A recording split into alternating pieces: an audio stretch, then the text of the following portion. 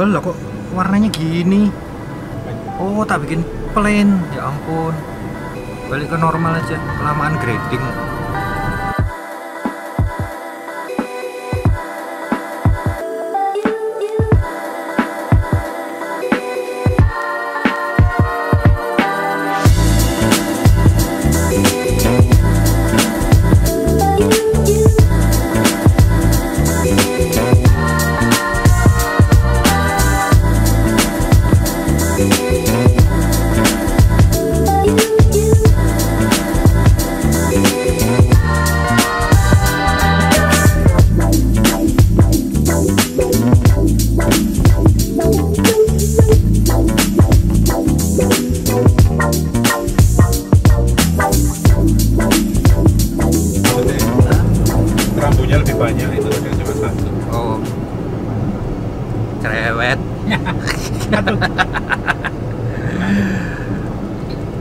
eh, sesuai janji ya saya akan menjawab pertanyaan yang saya open tadi pagi. Jadi saya batasi sampai jam 10 jadi mohon maaf bagi anda yang pertanyaannya setelah jam 10 tidak saya jawab. Karena ini akan saya baca semua eh, yang sampai jam 10 mobil apa tank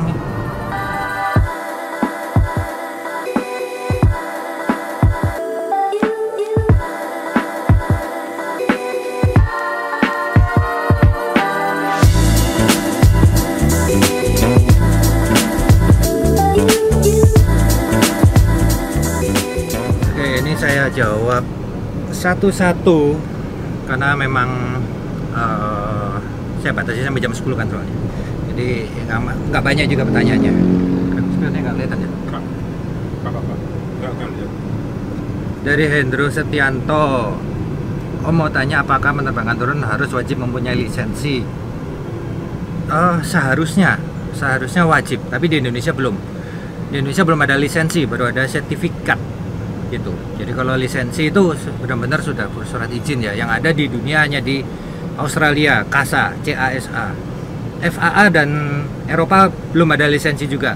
Amerika dan Eropa hanya ada sertifikat. Hanya oh, di Arab, di Dubai dan di Australia yang ada lisensi. Indonesia belum. Dan apakah drone terlebih dahulu didaftarkan? Sebaiknya gitu ya. Saya sudah buatkan database di database drone. Anda cari aja di website itu. Di website saya juga ada di area3.com itu ada database drone. Daftarkan aja di situ untuk pendataan. Jadi kalau ada apa-apa, Anda bebas dari screening kalau ada peristiwa apa-apa. Dari Farhan Fikri. Om mau tanya lebih bagus DCI Spark atau Phantom 3 seri sebagai pemula dan dari segi hasil video dari dari segi hasil video bagusan Phantom. Rian Blade. Om mau tanya kalau kita bawa drone keluar daerah dalam hal ini di keluar pulau apakah perlu dikalibrasi? Ke kalibrasi aja kompasnya ya untuk jaga-jaga karena ya itulah karena medan medan magnet di setiap tempat beda-beda. Tapi kalibrasi kompasnya aja. Dari Zikra Bintang, Mas, berapa batas minimum usia para pilot drone di, di Indonesia? Untuk yang hobi itu tidak ada batas minimum. Selama bisa bertanggung jawab atas tindakannya menerbangkan drone boleh. Tapi kalau untuk sertifikasi minimal 17 tahun ke atas. 17 tahun. Udah punya KTP minimal. Dari Erik 58 GHz. Awal channelnya gimana? Awal channelnya tahun 2016 eh, saya nggak punya konten yang pasti dan akhirnya saya nekat memutuskan untuk membeli Phantom 3 standar zaman dulu itu 2016 terus maunya sih untuk untuk untuk apa ambil shoot shootnya ambil video-videonya saya upload tapi ternyata saya malah nyoba review Phantom 3 standar saya sendiri dan itu mulai mulai naik mulai saya mulai menemukan aliran saya kontennya yang cocok bagi saya dari Peppers Peppers Notes di Indonesia ada yang pakai DJ Matrix 600 Pro nggak om? Nggak tahu. Dari Charlie Novria 23. Bagaimana sih cara merawat baterai drone yang benar? Ada di buku petunjuknya, ikuti aja. Kalau saya sebutkan di sini terlalu panjang dan lengkap sih itu. Boleh dan tidak boleh terhadap baterai drone. Baterai drone lipo pol, apa, lithium polimer dengan lithium ion itu beda. Dari Banyu Nasar. Kenapa milih jadi vlogger? Karena uh, saya punya apa ya? Dulu kan saya dari perfilman juga jadi saya punya istilahnya ingin mengapresiasikan karya. Nah kalau kalau saya seandainya saya itu pelukis saya pasti akan melukis nggak ngevlog. Kalau saya pemusik saya akan main musik dan nggak nggak ngevlog. Jadi main musik direkam di video. Gusti Yusriansyah. Om izin bertanya, ada nggak usah minta izin, tanya aja apakah sama batas maksimal ketika berada di 0 mdpl ataupun di atas gedung yang semisal setinggi 100 meter? Apakah sama batas maksimum? Beda. Pada saat anda berada batas maksimum ketinggian turun itu 120 meter. Pada saat anda berada di atas gedung maka anda punya jatah 120 meter di atas gedung. Tapi begitu melewati gedung itu anda harus turun 120 meter di atas permukaan tanah mau seperti itu? Nggak akan repot kan? Masa mau terbangnya gini gini gini gini gitu kan? Enggak. Ya udah 120 aja dihindari kalau ada gedungnya dari Andi DRH tolong adakan sertifikasi pilot drone yang dengan harga yang lebih terjangkau lagi mas please. Sertifikasi pilot drone itu tarifnya yang menentukan adalah klub. Dan itu disamaratakan semua ya untuk basic. Saya ada rencana untuk mengadakan sertifikasi pilot drone advance gratis. Tapi syaratnya anda harus ikut dulu sertifikasi pilot drone basic. Memang bayar karena untuk mendapatkannya tuh sulit. J jangan sampai gampang dan murahan gitu. Jadi mahalnya itu adalah menunjukkan seberapa besar niat anda. Itu kenapa itu mahal. Ya. Dari Ivan Fair underscore official Om untuk pemula drone untuk pemula drone tapi kita ingin membeli Mavic sama Phantom 4 yang recommended apa? Untuk pemula drone. Kalau anda untuk video dan foto ya Phantom 4 kalau mau milih antara Mavic sama Phantom 4 ya Phantom 4 dari arul.z rupa sahur sepertinya Om Arya jam 11 dari Kurniawan underscore i Om tahu regulasi drone di Itali?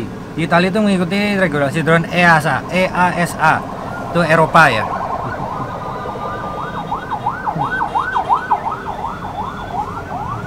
Nah, di Eropa itu uh, Anda bisa buka buka websitenya di EASA.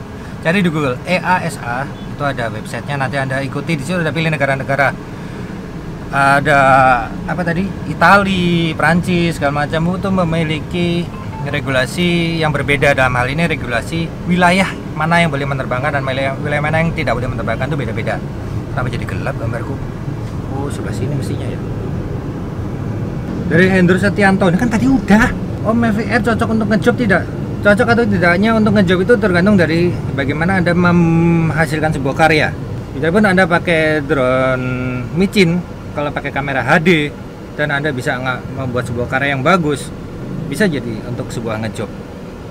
Dari Hadis Baroya oh dari Om Hadis area aerial drone dan FPV FPV drone kalau di collab bagus kayak Om hasilnya? Bagus kayak Joni FPV dari RP Firmansyah rekomendasi aplikasi edit video untuk mengajar SMK program keahlian multimedia uh, saya pakai Lightworks lwks.com alamatnya atau pakai hit film hit film tuh fx apa gitu ada di Google ya.